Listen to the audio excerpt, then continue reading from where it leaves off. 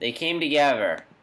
It sucks. My, my, complaint is that there isn't one joke in this whole movie. the film wasn't too great. Almost never funny. Hopefully, I will see a good comedy at some point in the future to make up for the garbage that was this movie. After watching it, I didn't really feel as if I'd watched the film.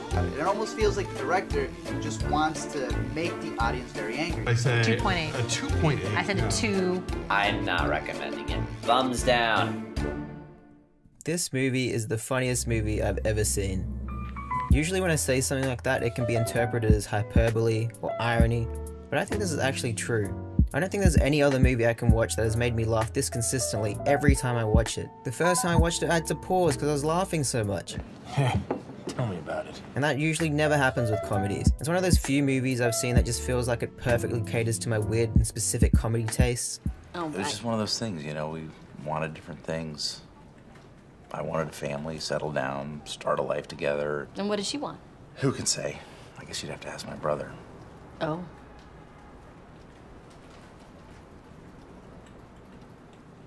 Is he here? Can I ask him? Yes. Keith, you have a second? What's up? Hey, Keith, I was just wondering, what did Hillary want that was different than what Egbert wanted? Uh, she just wanted to travel more. She wanted to focus on her photojournalism career, and marriage just wasn't conducive to that. Thanks, Keith. Thanks, Keith. For those of you who don't know what the fuck this movie is, they came together as a 2014 romantic comedy starring Paul Rudd, Amy Poehler, and a whole bunch of funny dudes. It's directed by David Wain and written by David Wain and Michael Showalter. You may recognize these guys' works with Wet Hot American Summer, both the movie and the Netflix series, as well as Wain's other comedies with Paul Rudd, Wanderlust, and Role Models. You gonna take that dick? You gonna take that dick? David Wain said that this is the film they intended to make as their follow-up to Wet Hot American Summer back in the early 2000s, but no studios wanted to take it, and thus the script sat in the drawer for about a decade until a sketch comedy festival back in 2012, where they did a table read of the script with Paul and Amy there, and it went over really well. From there, they got the green light from Lionsgate to make the film not long after that. On a small budget, they shot the film in under a month, and then it came out a couple years later in limited release and on demand. As for the plot, if you've seen any other romantic comedy, it's it's that. With the most notable comparison I can think of being You've Got Mail starring Tom Hanks. Boy works at big corporation, girl works at independent store.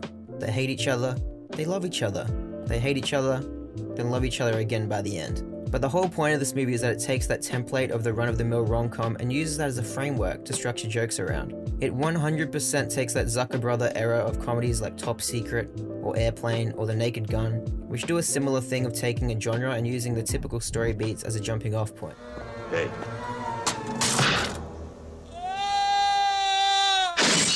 I guess you could almost call this a parody movie, with how meta and self-aware it is about the tropes, but not a parody in the same way as like scary movie, or superhero movie, epic movie, poop movie, or any of these stupid movies where you have to have seen the movies they are parodying to get the jokes.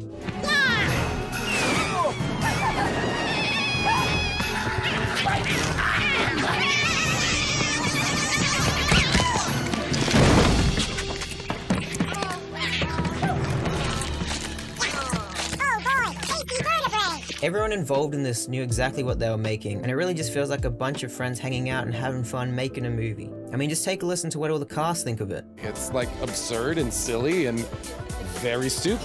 I like how stupid and dumb it is. It's ridiculous and it's silly and it's wonderful.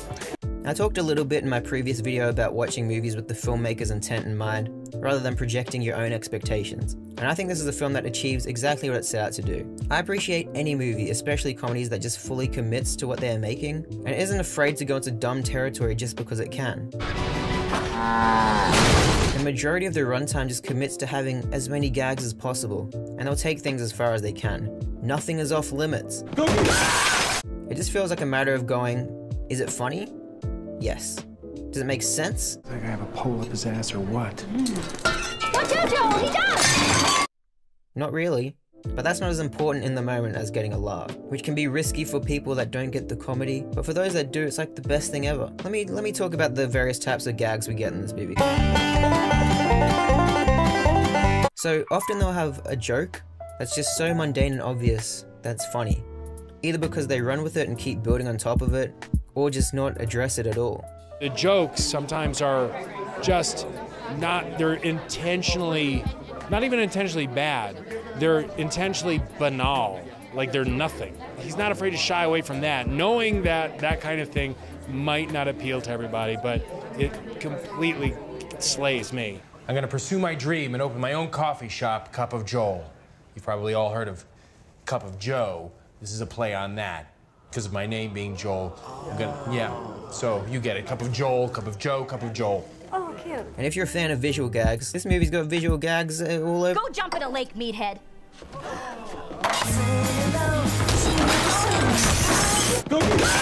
There's a few times where they'll have a visual gag play as a payoff to some other extended dialogue bit, like this muffin order.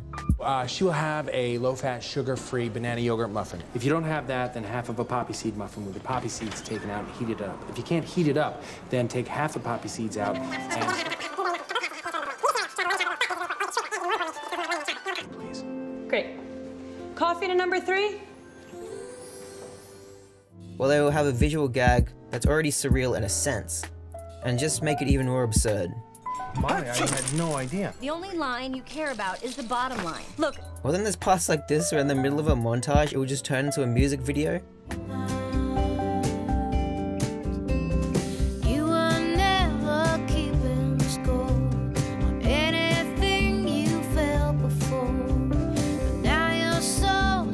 David Zucker of the Zucker Brothers actually has a list of rules that he abides to in writing comedy, and I think a lot of those rules are things that David Wain has adopted, whether that be subconscious or intentional. Especially the rules of acknowledgement and joke on joke. Acknowledgement being when a character in the foreground is ignoring or not noticing a gag happening in the background, and joke on joke being that if there is a joke in the background, there can't be one in the foreground, or vice versa.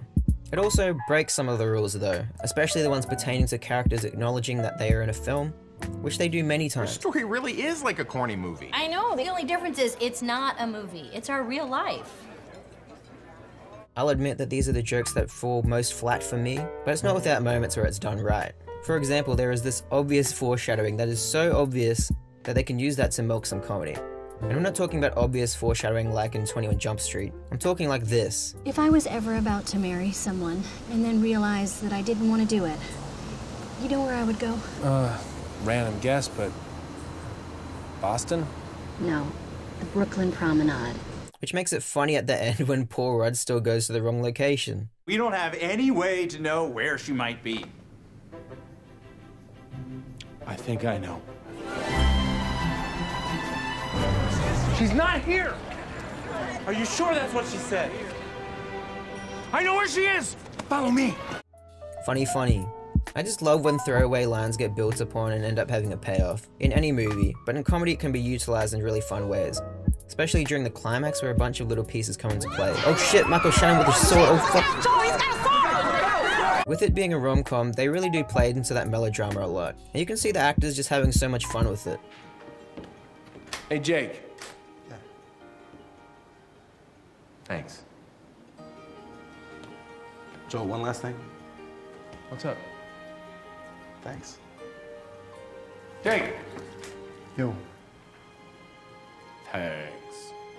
To me, it really shows just how much more entertaining a comedy can be when every single actor is so in tune with what they're creating. But you know what? Why should I just sit here explaining why things are funny? Everybody has a different idea of what a funny even is. Also, most people don't even know what this movie is, and half the people that do think it sucks. It sucks. But is that going to stop me from loving it?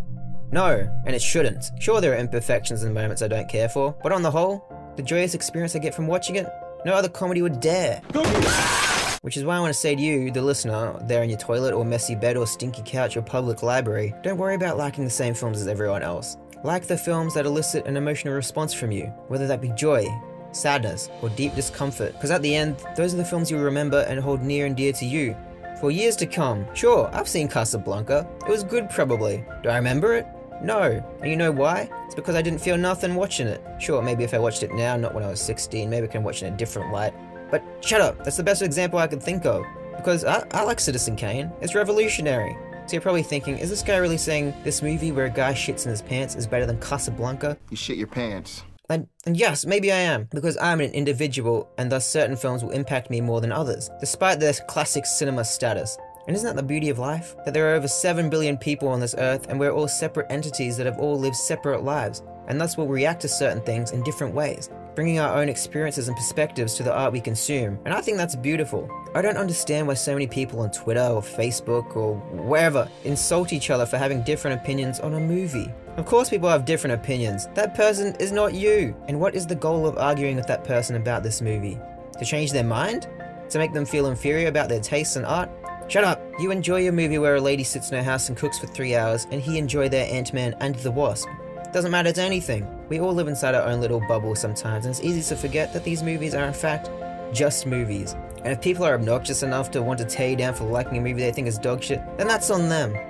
See, I went to film school, and some of the people you meet there are some of the most obnoxious people you'll ever meet, because they think loving Blade Runner 2049 and hating The Last Jedi makes them superior to you. Even though because you are a different person with a whole life's worth of different thoughts, maybe you found a lot to resonate in The Last Jedi, like how failure is inevitable and rushing into something bigger than yourself, and how you can use that failure as a strength to better yourself going forward, and that you don't need to be defined by who you were in the past. But no, Luke drinks green milk, and I thought that was dumb. So everything you resonated with as a visceral and personal reaction, it doesn't matter. Fuck that guy. Love your Gemini Mans and your Star Wars and your Twilight and your They Came Togethers.